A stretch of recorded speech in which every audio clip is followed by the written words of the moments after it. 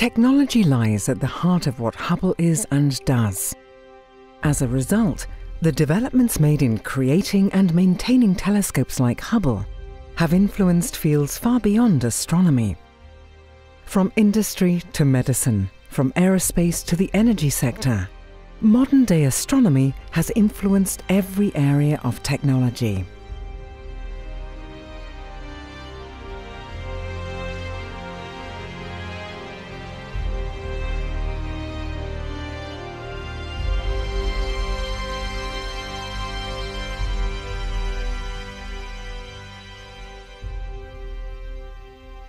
What practical uh, uses uh, are there for most people? You know, like real world examples. What do you? Well, okay. First, we do fundamental physics. So that means that whatever we do, it's not to have an application like tomorrow.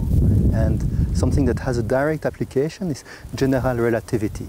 Remember Einstein, 1916, just 100 years ago, he thought general relativity. And for years it was useless. I mean, useless for normal people. For normal people. Now, nowadays, everybody use it daily. Yeah, and they would not believe where, right? Because they carry it in GPS, their own GPS in your cell phone, that is a direct application of general relativity. More precisely, it would not work without general relativity. Hubble is a sophisticated instrument, setting a gold standard amongst observatories.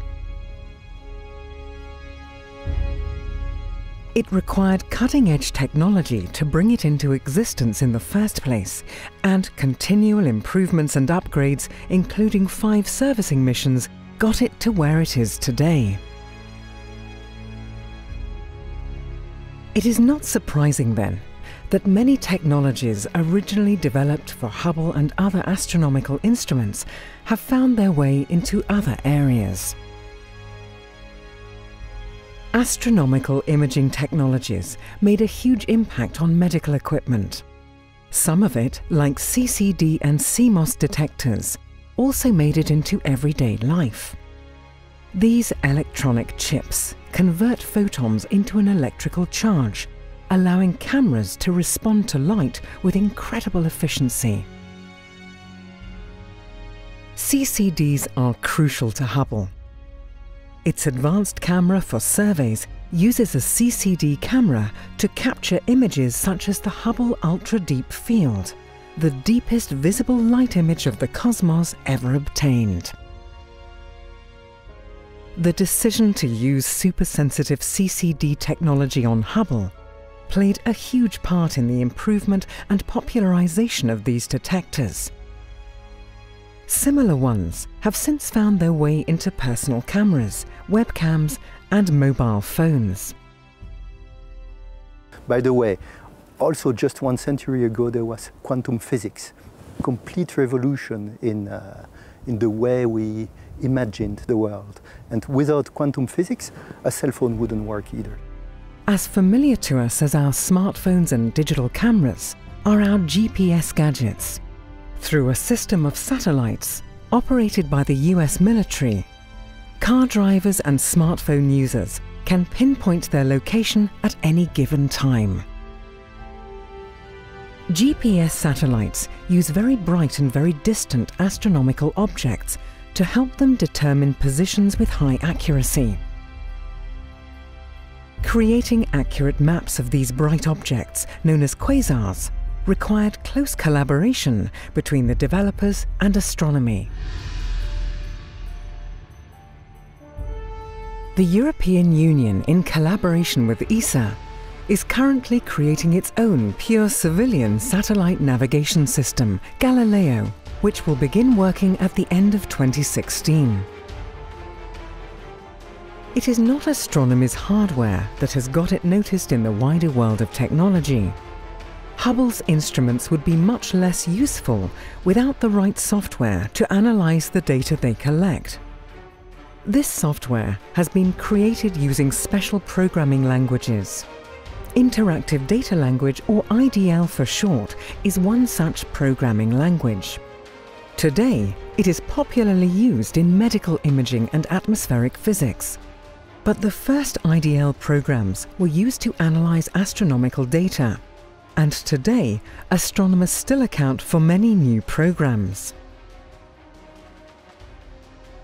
IDL is not the only thing that medicine and astronomy have in common, far from it. You know, there's uh, visible light, there's radio, there's infrared, and uh, these are all uh, electromagnetic waves that astronomers like to use to observe the universe. But at some point, the, the X-ray was just missing. So an astronomer said, okay, we really need to do something about it. And uh, he developed the technology to observe the sky in the X-rays. Mm -hmm. So he got a Nobel Prize, which was nice. Uh, and we got the technology. So now we are all using it every day whenever we go through an airport for the security or if you go to the hospital. So this is an example of uh, technology that is used on a daily basis thanks to astronomy. The advanced imaging techniques used by Hubble to see deep into space have now been used to allow doctors to visualize breast tissue without surgery. Software developed for processing satellite pictures from ESA has been adapted to detect signs of Alzheimer's disease in magnetic resonance imaging scans. And these scanners, along with many more used in the medical field, have benefited from the advancements to imaging technology brought about by creating telescopes like Hubble. Stars twinkle, and uh, that's a very big problem for the astronomers. In fact, the stars do not really twinkle. The problem is our atmosphere because it moves around. And in order to correct for the movement of atmosphere, astronomers um, come up with a very smart idea called an adaptive optics. And the idea is either you pick a very bright natural star or you use a very powerful laser and shoot to create a laser guide star. So the idea would be, um, you know how the perfect star supposed to look like. And then you measure that either laser guide star or natural bright star in your telescope. And by comparing how these two look like and doing a bunch of complicated math, you can figure out an algorithm to correct for your image. And this technology has been uh, uh transported into a medical application, hasn't it? Uh, indeed. So um, they have developed the laser operations. And uh, actually, in fact, I had such operations, which is called the LASIK. And the idea is very similar. Um, basically, um, they figure out what is the perfect eyeball shape supposed to look like. And they use the laser to help correct for that. And with that, you will be able to see the world much clearly and nicer. This is just the tip of the iceberg. Technology originally designed to explore the universe has contributed in hundreds of ways to our daily lives and has also fostered international collaboration. Whilst the payoff in our day-to-day -day lives might not always be immediate, it is very real. From contributing to a diverse range of fields through technology transfer, to changing our perspective on the universe we live in, Astronomy continues to play a bigger part in our daily lives than we realize. We value a lot old observations. We want to keep them forever because if you do an observation, it will never be redone because the sky is changing. So we have observations that are really old, like 10, 20, 50, 100 years. So we have a image format FITS. It's not of very widespread use, but it's extremely standard. So Everybody some, uses something it. like JPEG that most people know, or or it's GIF like or it's like JPEG, but the everything is described in the file. So if you just get the file, you know how you have to read it. And now some uh, archiving for other fields than astronomy use it too, like uh, old libraries. The Vatican Library is using our astronomical format.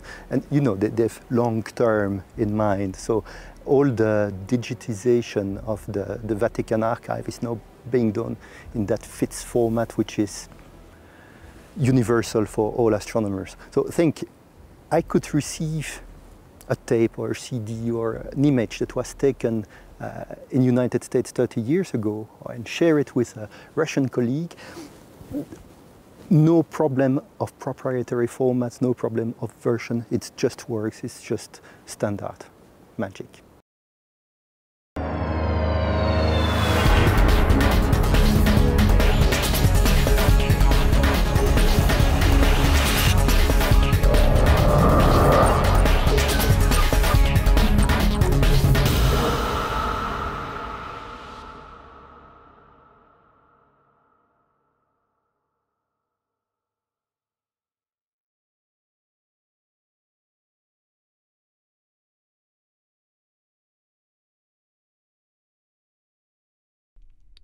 Now that you've caught up with Hubble, make sure to get the latest from the ground too.